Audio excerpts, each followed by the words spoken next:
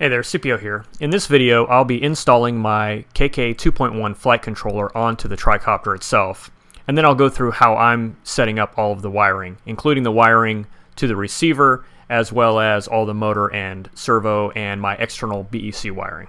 So for the installation itself, I'm using these nylon 25mm standoffs. These are 3mm threads that will screw onto the screws that are holding my tricopter together. So I'm actually going to cut these down to about 20 millimeters. So I'm just scratching a line with my micrometer, and then I'm going to cut four of these down to size.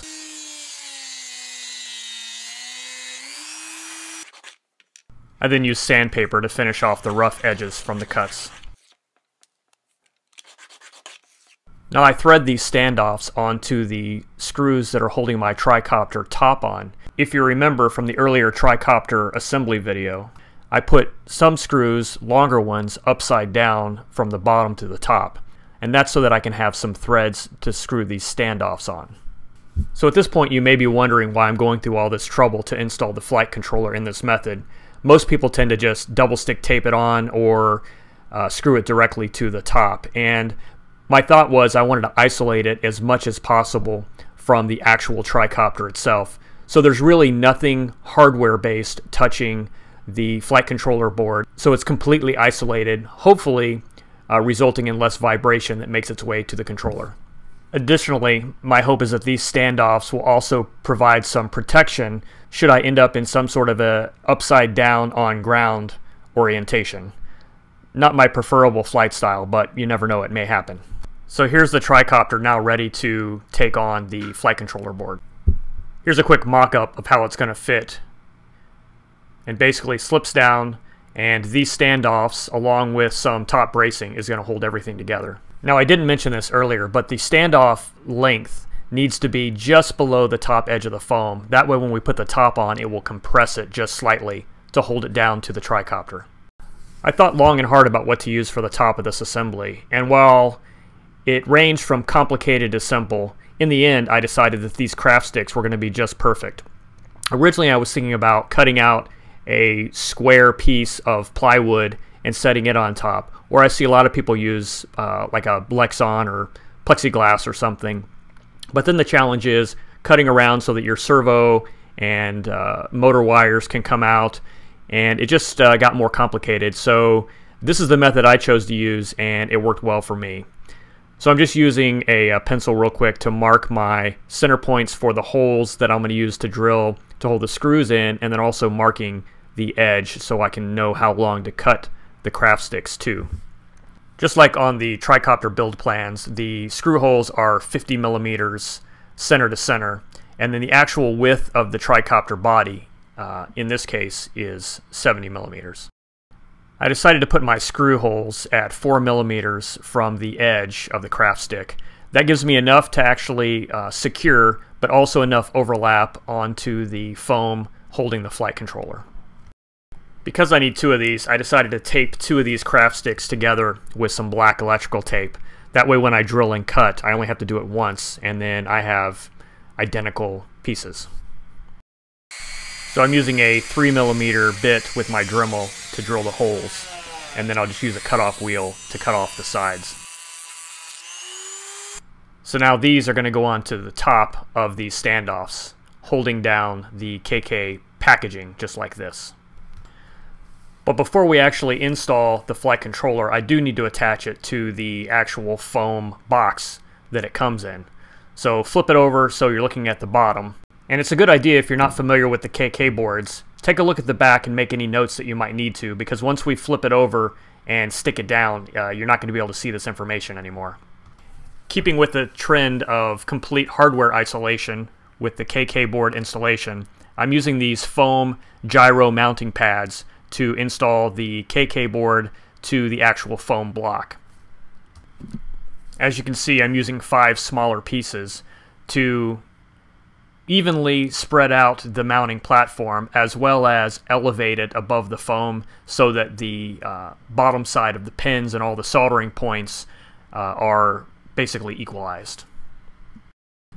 Now that we've got that finished, we can set this down onto the tricopter and then use these top mounting plates to secure it down. For screw hardware, I'm using these nylon 3mm screws. I don't remember what size these are, probably about 30 millimeters. So I'm just going to cut them down so I have enough threads to uh, secure the top mounting plates, but short enough that it fits all the way down inside the standoffs. And remember, you've got some screws coming up from the bottom, so you need to keep that in mind as you cut your length. And then just put the four screws in each of the four corners and uh, fasten down the top mounting plates. It needs to be snug enough that it compresses the foam box a little bit and will secure the KK package, as I call it, uh, to the tricopter. Too tight though and you'll strip threads. Next I need to mount my receiver to the tricopter body. I'm pretty cheap, so I tend to reuse my receivers on multiple aircraft, so I'm using Velcro for this process. I decided to mount my receiver in the front of the tricopter. That way when I mount my FPV gear, I can have separation between that and my video transmitter. Now it's time to connect the receiver to the flight controller board. And I'm using these 15 centimeter uh, male-to-male connection wires. I need five of them, four for the standard flight controls, and then one more to uh, enable and disable self-leveling mode. Now how you connect these to your receiver is going to be largely dependent upon the type of receiver you're using. Uh, if you're using Spektrum, you're probably going to have to figure out exactly which one is your throttle, aileron, elevator, auxiliary channels, etc. Uh, with FrSky, which is what I'm using, I can pretty much define it to be whatever I want. So I'm just going to put them in order 1 through 5 and then align that with the order of the uh, KK 2.1 board pins and then uh, set my transmitter uh, channels accordingly. Now when you're plugging these wires into the KK 2.1 board, make note that the ground pin is always on the outside of the board. That applies to both these connections as well as the motor connections on the opposite side. Here's how I decided to finish off the wiring. I'm using these little wire clamps I got from Radio Shack. They came in a multi-pack and I'm using the uh, same screw that I have holding on the top plate to fasten the wire clamp to the tricopter. For the motor side of the KK, I'm using this external BEC to provide power to my tail servo. Uh, if you remember from uh, earlier videos, I removed the uh, red power wire from my BECs in the ESCs for motors 2 and 3 and uh, thus I need to provide some sort of power for motor number four, which is actually the servo wire. And speaking of servo wires, I'm using this servo extension cable to get from the servo to the board. This cable's a little bit long, uh, but I'm going to make it work. I could use a shorter one or build my own, but for now, uh, this will be fine. So it took me a little bit of playing to figure out how to get all the wires uh, secured on the backside of the board. And originally I was going to use one of those Radio Shack clamps that I used on the receiver wires, but I just wasn't happy with how tight everything was. I didn't have a whole lot of play in the wires. So in the end, uh, I used some shrink tubing around the bundle of wires and then uh, zip tied them to that uh, standoff on the uh, the right side there. And then what you see me doing here is actually uh, coming up with a way to make this uh, very long servo extension wire a little bit shorter. And I'm basically just using a shrink tube uh, and folding it over on top of itself and then shrinking it down. That way um, I can keep everything tidy.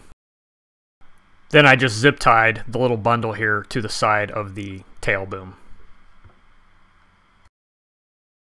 Here's a look at how I have the ESC, servo, and BEC wires uh, bundled together and then uh, fastened to that standoff.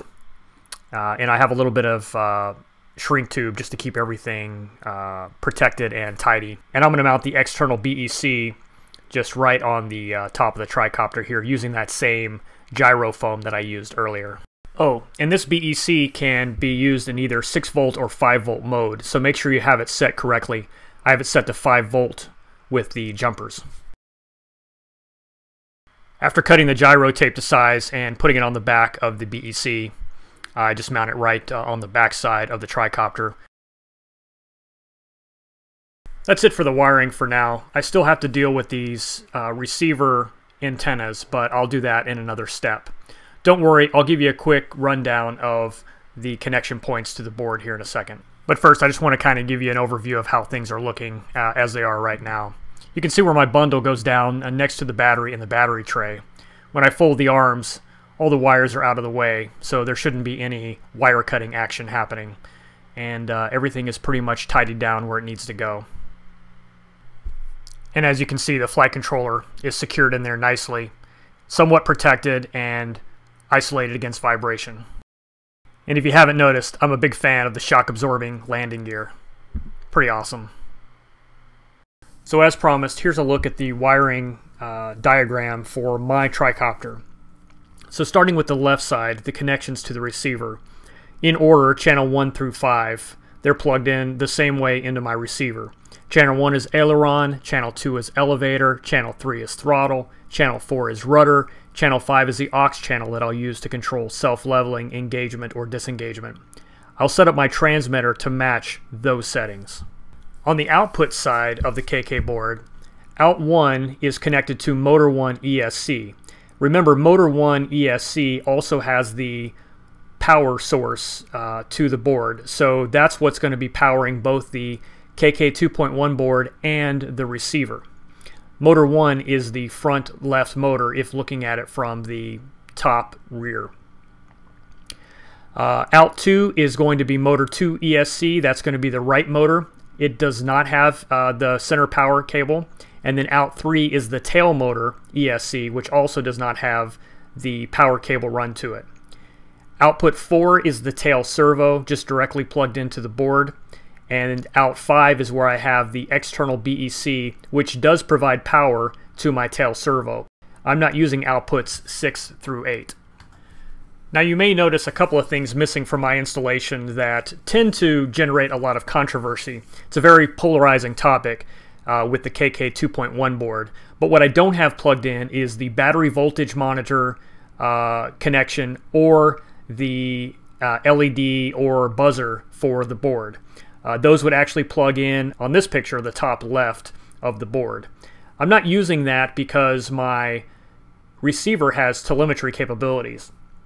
But even if I'm not using a telemetry based receiver, I would probably use an external low voltage warning device for my batteries. Uh, I'll just say that if you do decide to use the internal battery voltage uh, monitoring, be very careful. The polarity of the pins is very specific, and if you plug them in backwards, you will uh, let some magic smoke out of your board and it will no longer function correctly. Also, if you plug your power source into your buzzer pins, which are of the exact same configuration, then you will also smoke your board. So all I will say is if you're going to go that route, make sure you're extra careful uh, to plug things in properly and of the right polarity. A lot of people have gone so far as to just remove the pins so they avoid the mistake. I left mine in.